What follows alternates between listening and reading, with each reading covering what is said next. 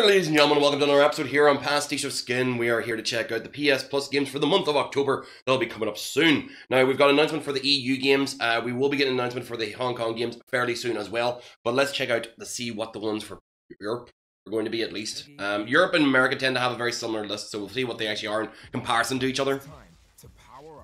PlayStation experience with PlayStation Plus. All right, bring it on. Let's see what October brings. So we have the Phantom Pain MGS 5, the hub-based, mission-based continuation of the Metal Gear Solid series with its complete lack of a final chapter. Konami's final fuck you to Hideo Kojima. We've also got the Amnesia Collection, which has been covered previously by the Hong Kong store, so we know that's not going to be this month's Hong Kong game because we've already had it before. And of course, we have That's You, which is on its last month as a free PS Plus game. So if you haven't already got it previously for yourself, then get it now before it actually gets removed, because it'll be your last opportunity to do so. And outside of that, it's not really listed any of the other games that are available, which is kind of disappointing. It's uh, admittedly, it's kind of su- not surprising because they they don't really list they don't really list all the games that are available that are um, PS3 releases as well. Let's bring up the list here and actually double check it because they've got Monster we've got Monster Trucks Jammed on PS3. We've got uh two PS Vita titles as far as I remember. So that was our PS4 releases. Let's see what else was actually on the uh, release schedule for PS3 on top of that. Now there's not that many people uh, really playing as much PS3 as there used to be, but it's kind of nice that they're still kind of folding us along. We, we know for a fact that they want to kind of move on from the PS3 and the Vita. And I'm a little bit disappointed this one didn't have another PSVR title because RIGS was a great game to get for free because I was never going to buy that game otherwise. And admittedly, I didn't really enjoy its gameplay whenever I did do a coverage of it here on the channel. You can see it up in the card. There'll be a card probably that I can actually link to it right there in the background.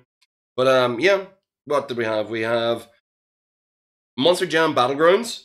We got to be honest, since we've already got uh, Fortnite doing its battle royale, we need another game, Battlegrounds, just to kind of confuse the titles a little bit.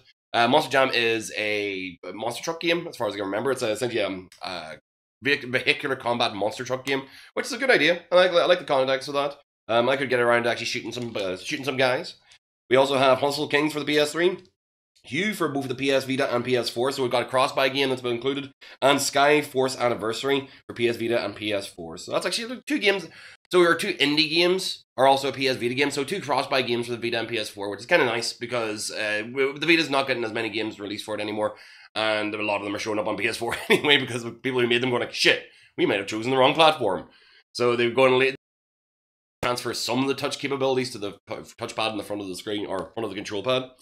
Uh, that's that's all the games that we've actually got announced for PS PS Plus for the month of October 2017. Not a lot of people are going to say like, "Oh, this is great because it's a great AAA title." Like, man, Phantom Pain wasn't great. Uh, If you if you really want to see what people are actually pissed off about currently about Shadows of War and its microtransactions, Phantom Pain is a good way to look at it because this whole forward operating forward operating base of the online that was attached to it did kind of uh, ruin a lot of people's enjoyment of Metal Gear Solid Five. I actually picked up Metal Gear Solid Five on my American account back whenever uh, it first came out because there was a, it's just a good deal. I got it for, got it for a little bit cheaper, but the um, the online was always a problem for me because uh, Metal Gear Online and Phantom Pain are actually they're like two separate downloads, and then I couldn't pull down the EU versions of it, and then I was having a problem playing with anything other than my American account, so I never went and played through it for the achievements. Uh, so I had a personally bad experience playing Phantom Pain because I just I got to a point where I just I didn't want to play it anymore because one of the hassle and two there was a mission that just was kicking my ass, and um, I just never wanted to finish it, and I ended up just watching cutscenes online instead, and I was extremely disappointed by the fact that the story goes the way it does and just kind of stops and we're probably never going to get another Mega Solid kind of like mainline title made from the mind of the lunatic himself, Kojima.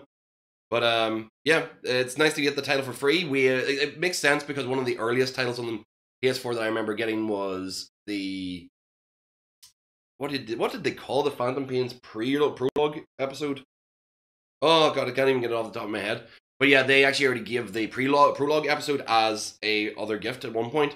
The only thing that they haven't done, which I think will probably be maybe next month, maybe for Christmas, um, which I honestly thought they should have probably done for October because they're in a bit more Halloweeny, bit more kind of a scary time.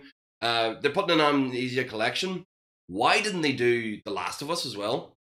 Like The Last of Us and The Last of Us Left Behind should really the remaster should really be on PS Plus by this point, but it hasn't actually appeared. Um, so I think they're just trying to eke out every single dollar they can, and they've realized that there's no market in Phantom Pain at all anymore. So let's push that one forward first. Um, let's see if they actually can keep this path up because the problem is that you can run out of good titles to play and you can run out of titles that nobody really cares about, but you can get them give them a little bit of a boost again as soon as they actually do the PS Plus thing. I might go back to Metal Gear Solid 5, give it another try now that we actually will have more players back into it again. And plus the fact it'll be available on my EU account as well. But uh, let's look forward to seeing what Hong Kong brings us. I'm got a feeling that the Hong Kong game is going to be Phantom Pain as well. But at least we know it cannot be Amnesia Collection because they literally, literally this month finishing was already Amnesia Collection. So, what are they going to do? What are we going to trade up with? Are we going to get someone? That, are we going? Uh, is what we're going to get? Are we going to get Strike Vector EX, which was the American alternate title this month on the Hong Kong account now? So they're just rotating things around, going like, right, well, if you have one, you might as well have the other. So you're literally buying two games every single month that are exactly the same. Um, if they continue that pattern, I'll probably be a little bit annoyed, but I'd rather see something a little bit more unique coming from the Hong Kong store. So, guys, thank you very much for watching. Hope you actually enjoyed getting a wee look at what's going to be coming on PS Plus over the next month. Like I said, we'll be back with the Hong Kong one once it's announced.